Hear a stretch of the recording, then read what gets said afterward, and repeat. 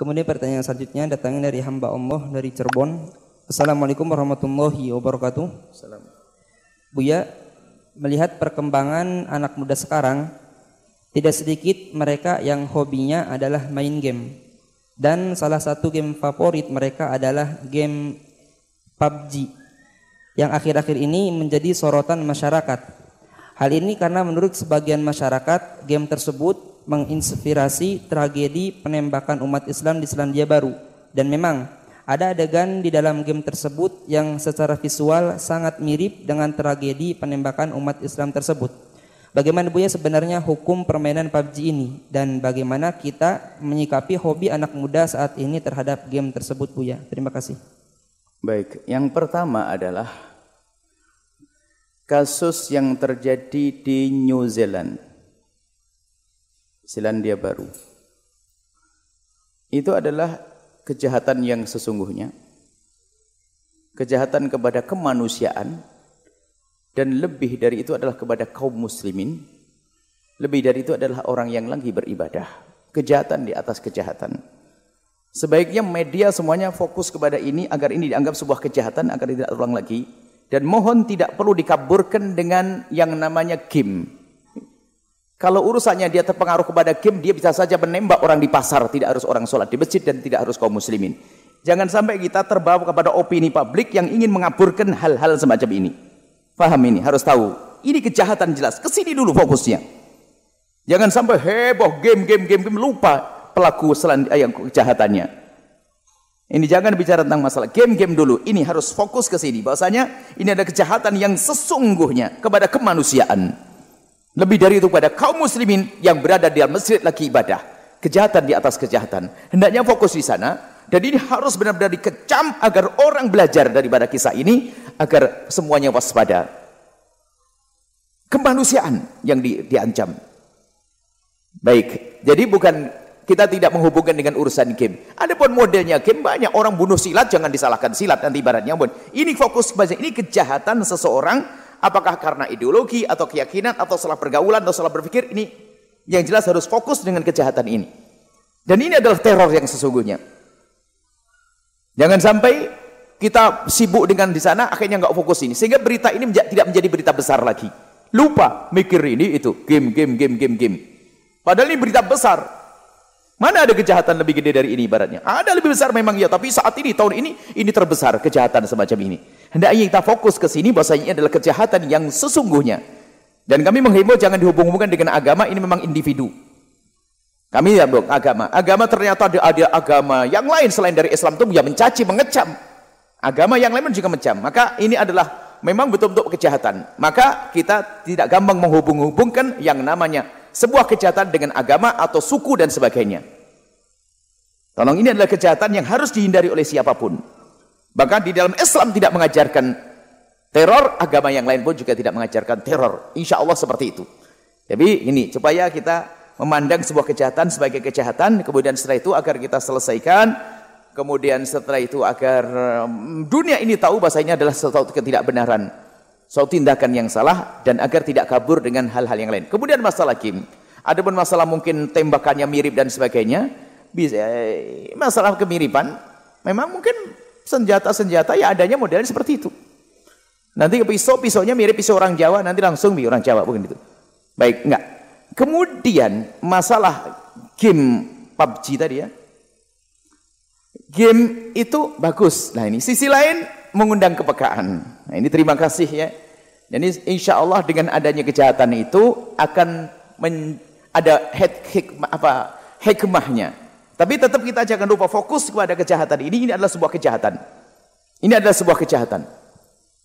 Kemudian yang kedua adalah dengan kejadian semacam ini sehingga sudah mulai pada sadar gara-gara yang namanya game banyak mungkin ini ada dugaan ke sana Padahal yang boleh cermati bukan urusan ini karena game tersebut bisa game macam-macam, game porno, game ini dan game judi dan sebagainya. Tapi mohon ini dipisah dengan yang tadi itu. Ini kejahatan sudah selesai. Adapun kita bicara tentang game, gimana masalahnya? Game jangan dihubungkan dengan itu. Kita murni kejahatan game. Masalah ke apa ketidakbagian game. Kalau memang ada masalahnya, masalahnya seperti apa? Kemudian yang jelas game menyita waktu anak-anak kita. Menyita waktu anak-anak kita. Belum lagi game nanti kalau ada perjudian menjadi haram. Jadi haramnya bukan haram zatnya game, tapi haramnya adalah haram digunakan untuk apa game tersebut.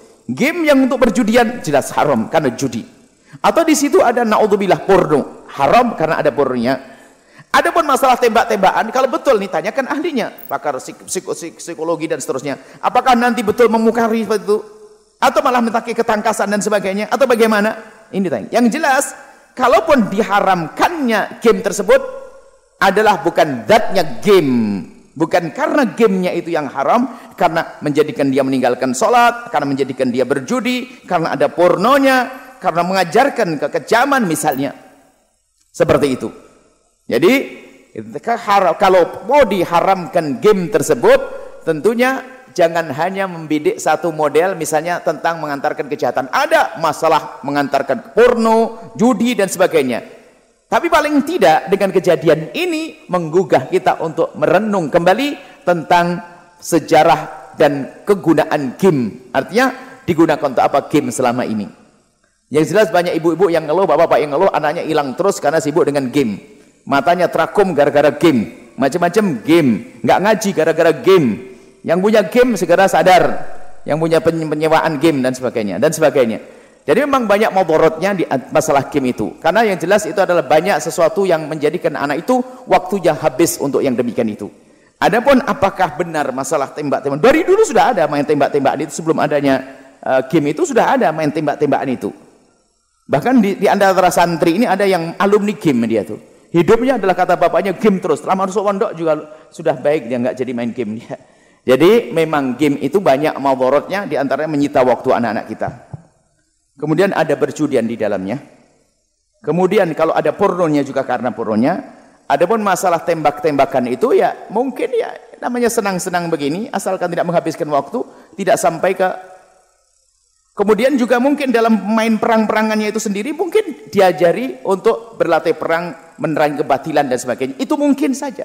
Jadi haramnya bukan zatnya. Jangan dihubungkan bahasanya dengan kami tidak ingin bahasanya dihubungkan dengan kisah yang terjadi di Selandia Baru, dia orang yang canduan game dan sebagainya, lalu dia membuat itu kayak praktek game. Oh, tidak, tidak ada hubungannya. Kalau masalah itu karena dia kecanduan, dia bisa menembak orang di pasar. Atau mungkin lebih antik lagi langsung ke polisian, polisi yang ditembak, biar berantem, gitu mungkin biar ada lawannya. Ini adalah sakit dia. Dia sakit jiwa dia, bukan sakit jiwa gila maksudnya kejiwaan dia maksudnya jiwanya jiwa benci kepada kemanusiaan. Nah, adapun masalah game, mohon kalau ada fatwa ini adalah waspada. Justru ini yang kami tangkap, kami senang satu sisi. Berarti orang harus waspada masalah game. Ibu-ibu jangan biarkan anak anda urusan dengan game. Di dalam game ada game porno, dalam game ada game judi, dalam game ada game yang memang kalau betul itu mengaruhi menjadikan orang jahat, digiring main tembak-tembakan, maka menjadi tidak boleh. Berarti pelarangannya pun bukan dari zatnya game, akan tapi pelarangannya adalah karena sesuatu yang lain. Yang permasalahan game seperti permainan yang lainnya. Seperti permainan yang lainnya, hiburan yang lainnya, seperti internet, televisi dan yang lainnya, kalau digunakan jelek jadi jelek, kalau digunakan baik jadi baik. Kalau digunakan jelek jadi jelek, gunakan baik-baik. Tapi kalau urusan game memang namanya main, murni main, maka yang perlu diwaspadai pertama adalah waktu anak-anak kita.